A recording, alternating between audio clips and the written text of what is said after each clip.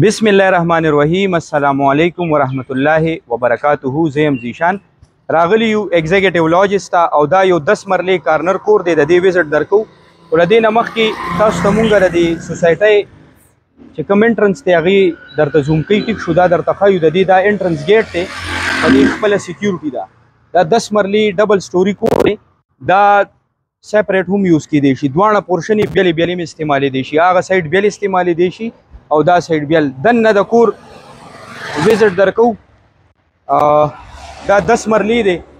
او دی کې ټوټل شپږ کمرې دي ورسره اټیچ باچ دي دې سوسایټۍ کې ټول فیسیلیټي شته دی ښه مارکیټ مخامخ مارکیټ دی ټیک شو دا د دې کارپورچ دی دا کارپورټ شو او دا یو سره اوپن ایریا ده ٹھیک شو جی یو کارپورټ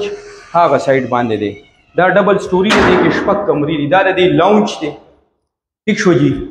ماشاءالله کور خو خسته جوړ دی دا د دې د لاونج کوم ویو دا د دې میډیا وال شو میډیا دا یو بیډروم دی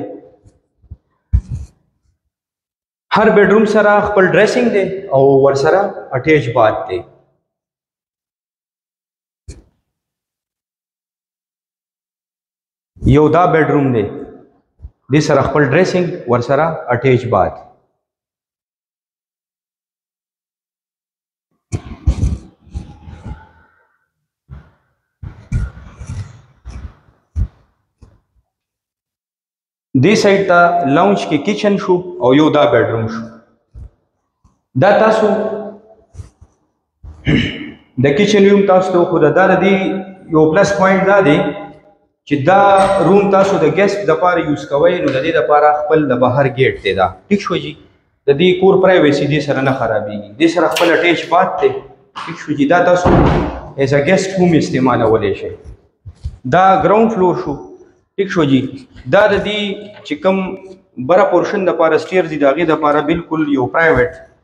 هغه دی ټیک شو پرایویسي د کور نه خرابېږي دا انټرنس شو دا د کارنر کور خبره کو ټیک شو جی دا پورچ شو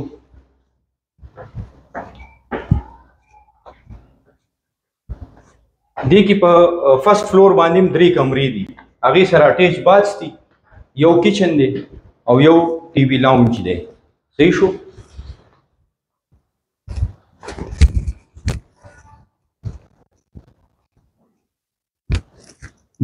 دا چې د دې لاونج دی صحیح شو جی دې سایت ته میډیا وال شو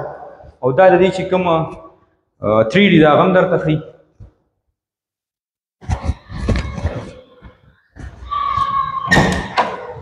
دا د دې اوپن ټیرس دی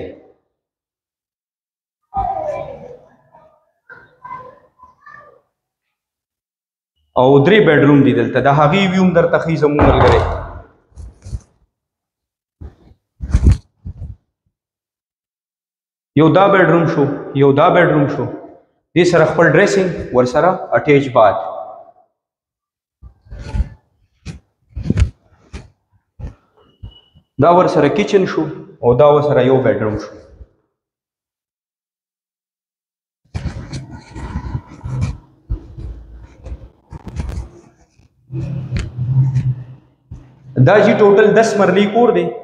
او په ورسک روډ باندې دی پېښور ماډل بوایز 2 سکول د دې نه 3 منټه فاصله کې دی پیدل ټیک شو جی د مین روډ نه چې تاسو رینټر شئ نو ایگزیکټیو لوجز سیکټر 1 کې دا کارنر 10 مرلی کور دی ډبل سټوري دی درې کمرې لاندې دي او درې کمرې بره دي که څوک انټرسټډ وي بیا موږ سره رابطه کولی شئ مهرباني